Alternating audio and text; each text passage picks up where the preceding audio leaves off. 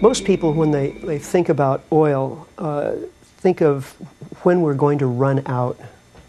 And really, that's the wrong question to ask because oil in the earth is not like oil, uh, gasoline in the gas tank of your car. Uh, when your car runs out of gas, then you know there's a problem. Uh, and it, but it doesn't run out until you get to the, the last drops. But with oil in the earth, it's a very different situation. We can't just pump oil out of the earth at any arbitrary rate. All oil production, whether it's in one oil field or one country or the planet as a whole, always follows a bell curve. When you drill your first well, if the oil's close to the surface under pressure, you get a gusher. You drill more wells, the pressure goes down, the table goes down. But also, you're pumping out the light sweet oil, which has risen to the top. The heavier, uh, more expensive oil to refine, the harder to get oil, is obviously way down deep. And you have to start putting in pumping in water or carbon dioxide or natural gas if you've got some around and to start forcing the oil out just as is happening in Saudi Arabia. So what you get is this curve. It, it starts um, pulls up quite quickly you get more and more and more out then you reach this peak or plateau. When you get to about the halfway point the rate of that you can extract the resource be, uh, peaks and after that point no matter how much effort you put into it you can't continue extracting the resource at the same rate. The rate of extraction peaks and begins to fall.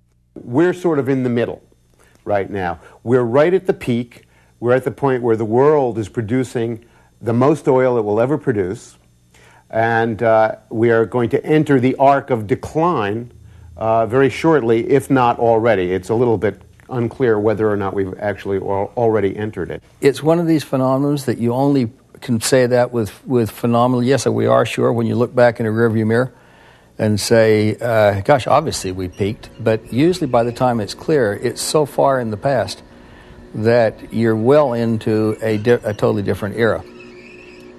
And once it goes into that decline, it's a permanent kind of a decline. It might be a bumpy decline. And then you've got yourself a gap between what you want to use and what the supply is. Peaking means categorically that you no longer grow the effect of crossing over the peak means, in essence, that every barrel of oil that you produce from that moment on will be more expensive. It will, will require more energy to get out of the ground, and it'll be a lesser quality of oil.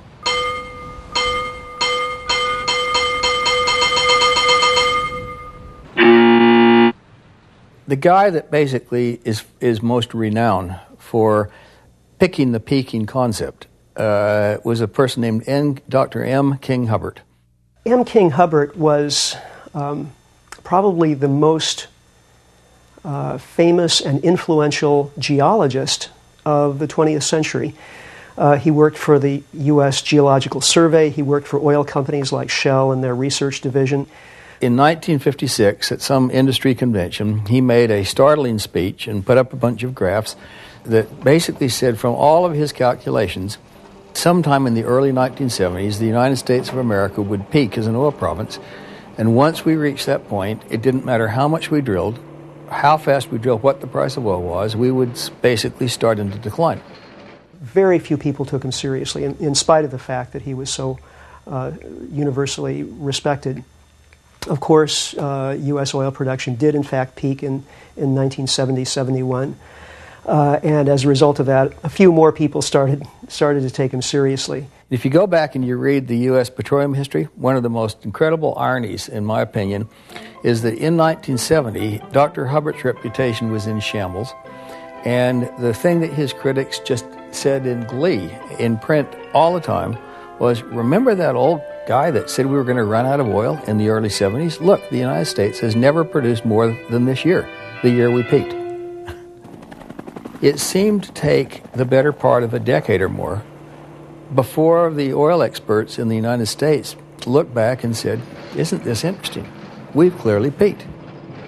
He uh, um, went on to predict a global oil production peak for the mid 1990s, which probably would have been accurate if it hadn't been for the uh, oil shocks of the 1970s, which drove oil prices so high that they destroyed demand and as a result of that, uh, oil production actually decreased for the first time in history during the early 1970s.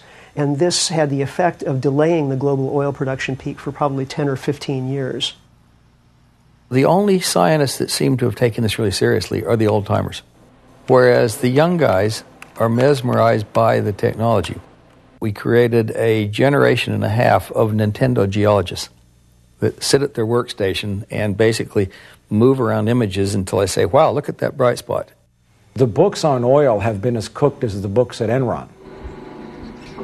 In the late 1980s, virtually all of the Arab oil countries reported extraordinary reserve increases of something like uh, 50 to 100 percent just within a year or two.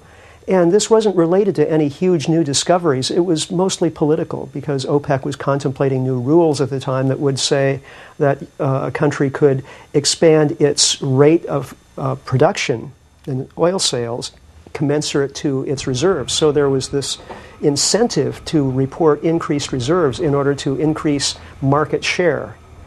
But the evidence that that oil that has been reported as reserves is actually there is, is, very flimsy. So we don't actually know how much oil is in Saudi Arabia or Iraq for that matter. Is there 115 billion barrels of oil in Iraq, as is uh, noted in the, in the press again and again?